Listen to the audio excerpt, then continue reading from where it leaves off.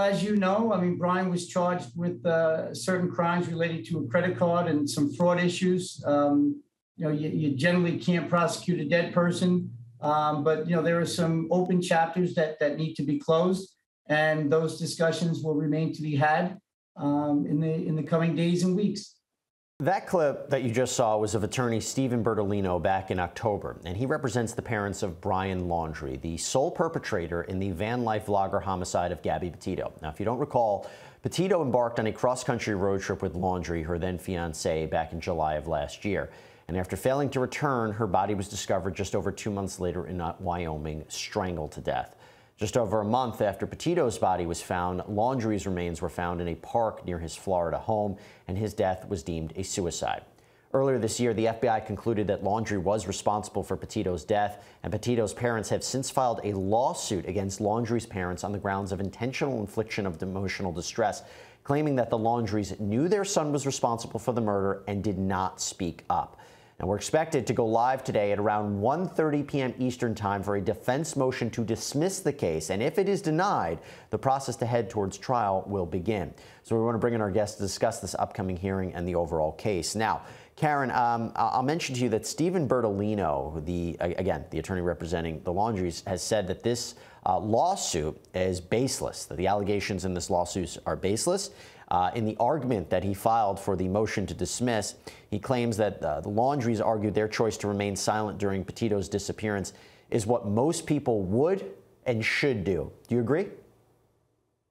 Well, from a, uh, an attorney perspective, right, in terms of protecting your client, absolutely. I think that it's not what the public wants. The public feels that if you have done nothing, you don't, you haven't done anything wrong, that you would be encouraged or you would want to speak to the police and and solve this case, right? Because she was missing for uh, Gabby was missing for quite some time. So it's contrary to what the public expects of you. But as an attorney trying to protect your client, absolutely, I think that that was the right thing to do. But that's against uh, public opinion.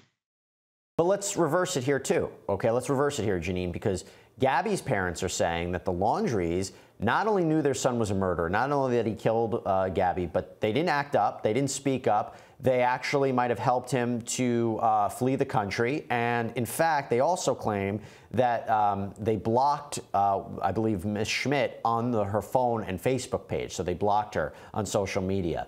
Again, do they have a strong case for intentional infliction of emotional distress? So I'm with Karen on this uh, and a legal standpoint, I don't think that the parents had to talk, but from a moral standpoint, I just I don't know how one mother to another mother couldn't you know communicate with her. You know she's texting her she can't get a hold of her daughter. I understand that you want to protect your son but i think that there's a special place in hell for these people for what they let these parents go through. That being said i don't know how successful of a case this intentional infliction of emotional distress will be. I'm waiting to see, you know, um, if it is in fact dismissed today, because I do think that they had a constitutional right not to speak. But at the very least, Karen, do you think there's enough to go to a trial? Do you think it's going to survive the motion to dismiss stage? I think that there's going to be pressure on the judge in this particular case that uh, all eyes are going to be looking at him. And if he dismisses the case at, at the request of the defense, I think that he's going to get, he or she is going to get a lot of heat from it. So I'm hoping that public opinion is not going to sway his decision. But based on the information that we have, and maybe there's additional information that Gabby's family has that's going to be brought up at this motion, but I don't believe that there's enough uh, to move forward.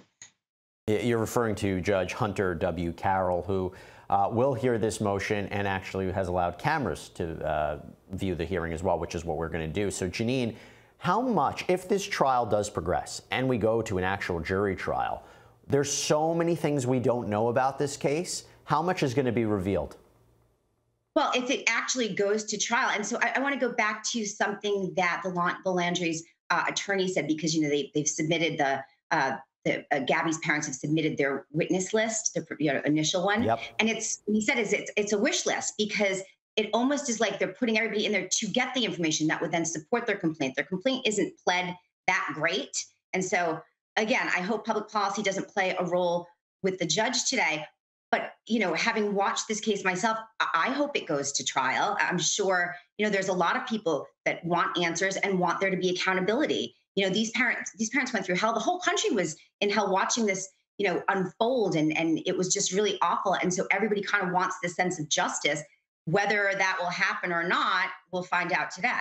Yeah, and you mentioned I'm looking at the witness list now. Obviously, it's the parents, it's the step parents, but also it's representatives of the FBI and representatives of the North Port Police Department. Names not specified for both categories. So, you know, it is interesting to see who would testify and how this this trial and story would ultimately play out.